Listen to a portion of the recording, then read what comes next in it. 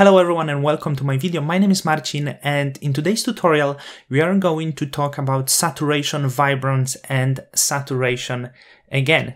This tutorial is complete guide on saturation and vibrance. So if you're looking uh, for the information on these adjustment layers and this tutorial deliver you information in details. I will explain you the theory behind these adjustment layers between the different sliders and then we are trying to use this in the practice to compare how does different adjustment layers affect your image. So this is really important um, because I believe whatever we do in Photoshop, whether it's graphic work or photographic work, it's important to know what is happening. And this tutorial is going to deliver that. So let's move to Photoshop. So in Photoshop, I prepared this very special looking image of 12 different colors. I did this because it will help us to understand how the saturation works and how it affects each color. As you can see, uh, the colors are a little bit different on the top and bottom. On the top, the colors have more saturation and are darker. On the bottom, the colors are brighter and have less saturation. We can verify this by opening color and using the eyedropper you can see the differences in value. So the colors change for 30 degrees and in total, as there is 360 degrees, we have 12 different colors. As mentioned, saturation on the top is around 85% and saturation of the bottom of each color is around 25%. And when it comes to the brightness on the bottom, it's around 83% and on the top, it's around 60%. When it comes to the luminance, each color has different luminance. It's just how the color works the brighter colors has higher luminance, the darker colors has usually lower luminance. So starting from the beginning, we need to open the different adjustment layers and start comparing the saturation and vibrance. So I'm going to start with hue saturation.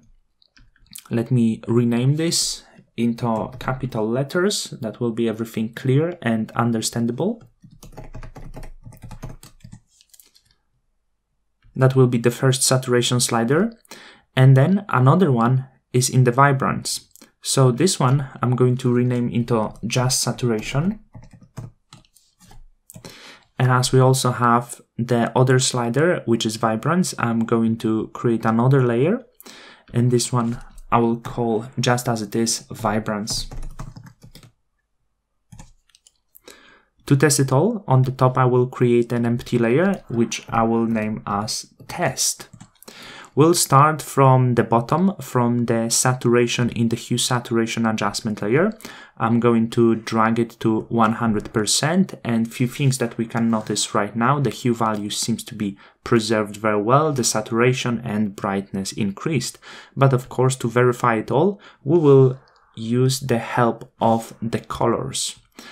So uh, starting from the hue values, from what I can see, the hue values did not change, or if change, it's difficult to notice these differences. So there was some one degree somewhere, but it could be just mistake, as you can see, depending where we go. So I would assume the hue values wouldn't change. When it comes to the saturation, we have the big increase of the saturation on the bottom, around 30% increase of the saturation, and I will check if each color was affected equally.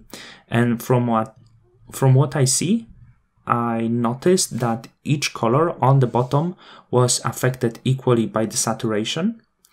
And when we increase the saturation, the saturation reach 100% around the middle and it stays at 100% on the top and on the brightness change feather. So when, when it comes to the saturation, each color was affected absolutely equally. And as you can see, in each color, the saturation would reach 100% around the middle. When it comes to the brightness, the brightness was affected also very even across each color. and on the bottom the image had more brightness where it reached 100% and of course as the image naturally was darker on the top the brightness started increasing around the middle and got down to around 70% on the top. And from what I see each color has the same brightness. So equal increase of saturation in and the brightness. We can of course verify that by playing with blending modes. So I would go to color blending modes such as hue and saturation. As I said, hue didn't change and I don't see any changes. When I change to saturation, I can see big changes and as we verified, the saturation was increased in same values on every color from at least from what we saw.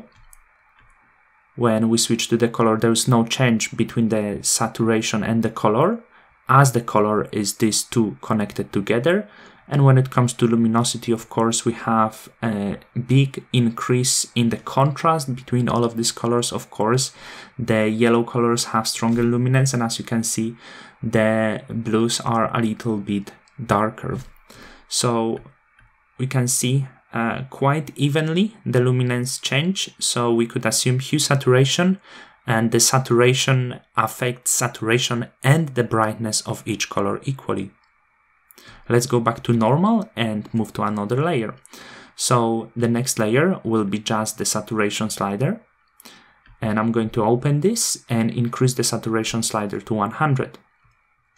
Once it's done, a few things that I already noticed, uh, changes in the hue values, but as I want to verify everything, we will open the colors and compare. When it comes to the color blues, the hue values did not change much. The green seems to be strongly affected by the changes of the hue, uh, except one that had the hue value at 120 degrees, but two others neighboring also got the hue value on one of 120 degrees. When it comes to yellow, not big change, and rather big change when it comes to the oranges.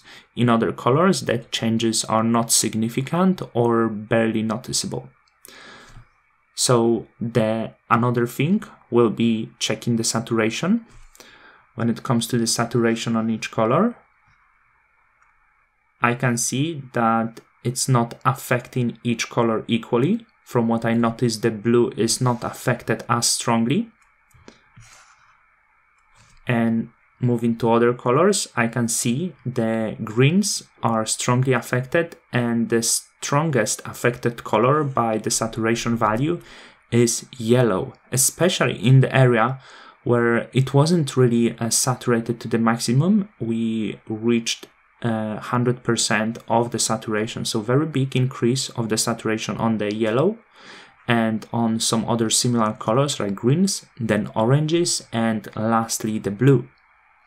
When it comes to the brightness, on the bottom we have similar values on the cold colors and as you can see there are brighter values when the colors are cold and the image gets darker when the color is warmer. So quite opposite to how saturation affect this image and also the brightness decrease as we go up because the image was darker on the top and also we can see there is difference and the yellows remain uh, darker.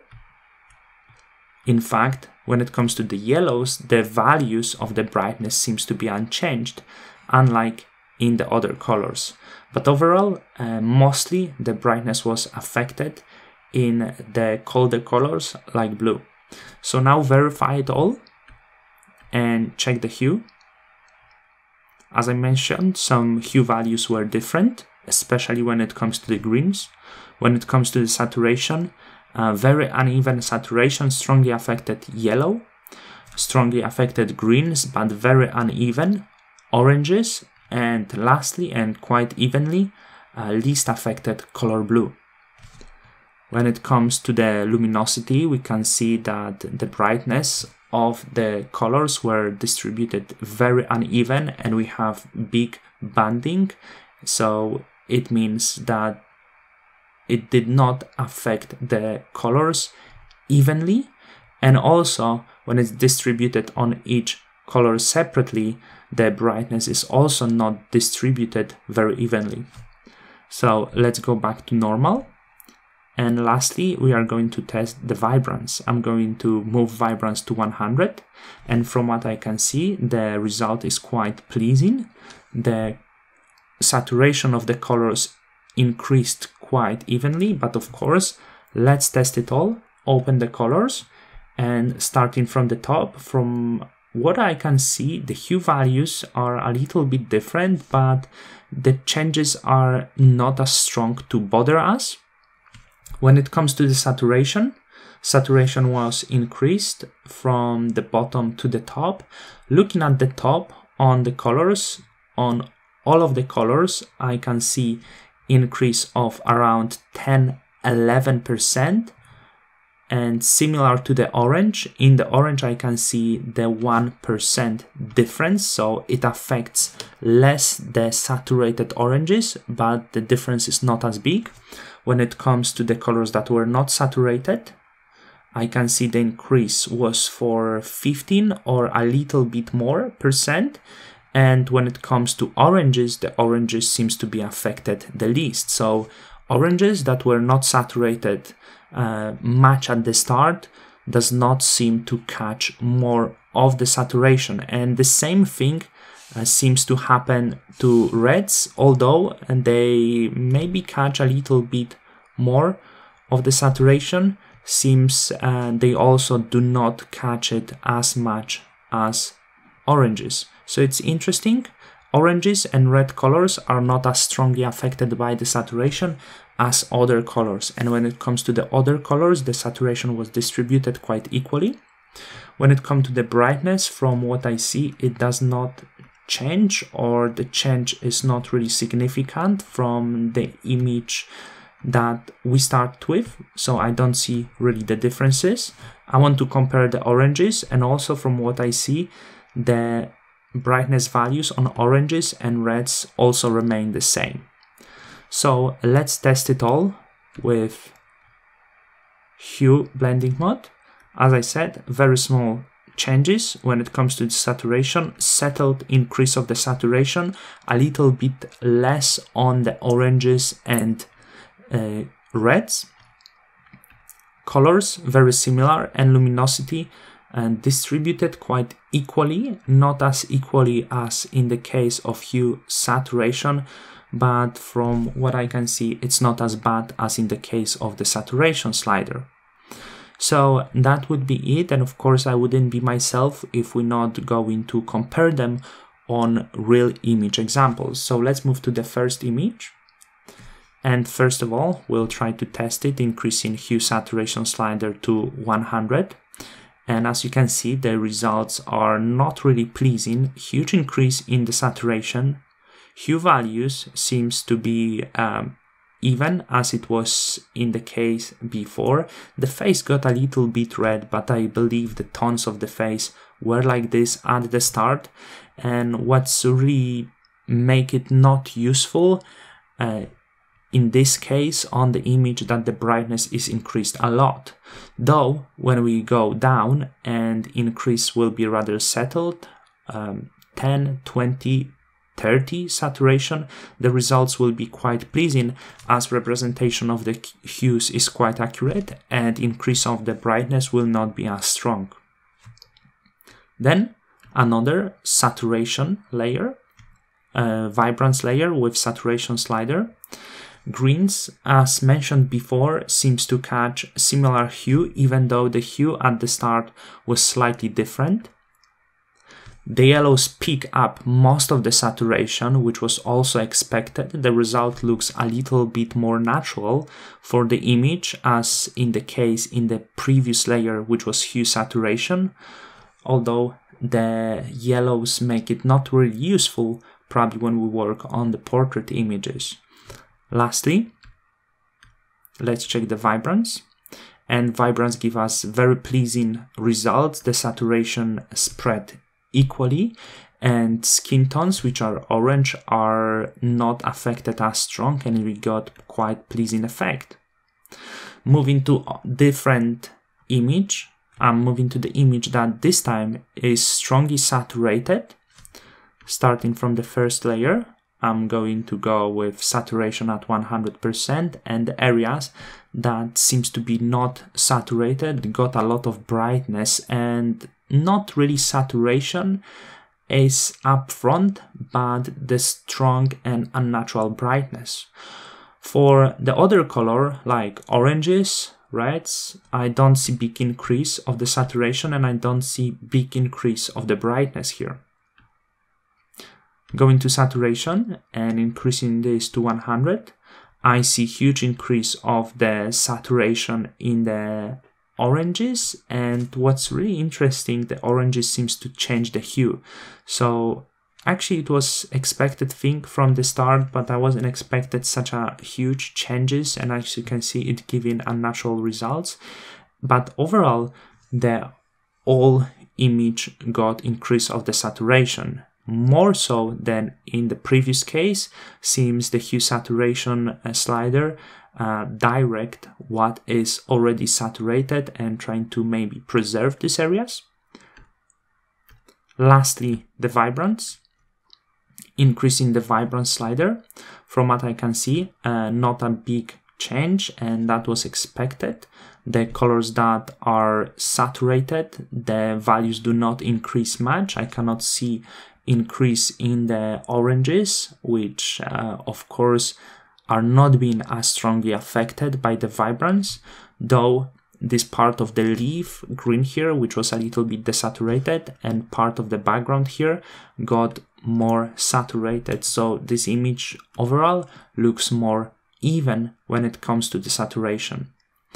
So that is everything. A very theoretical video, but I believe for everyone who struggle uh, to understand how the colors works, how the sliders affects the colors, this is very interesting experiment and it will help you to work with the images, it will help you to predict how the colors will react, and it will help you to work uh, with the graphics because obviously every of these adjustment layers some of them are more useful for photography, some of them will be more useful for graphics, some of them will be more useful for certain tasks, tasks in photography, and some of them for other tasks.